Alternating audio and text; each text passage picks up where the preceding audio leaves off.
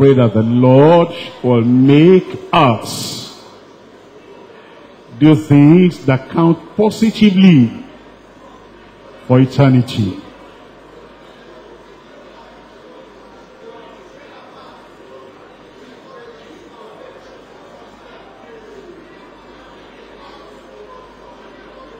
Do things that will count for eternity.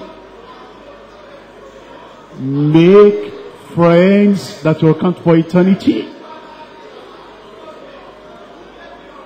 Let your associations count for eternity.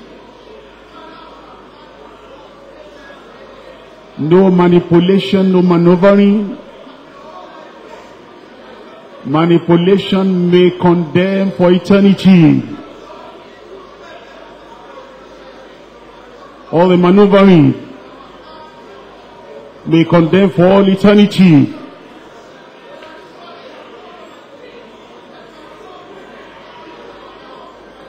Let there be a heart that takes correction. Hair that submits to the word of God.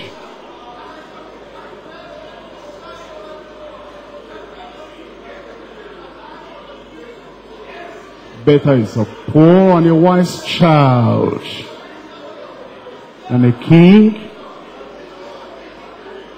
that is so set in his ways and will no more be counseled, no more be corrected.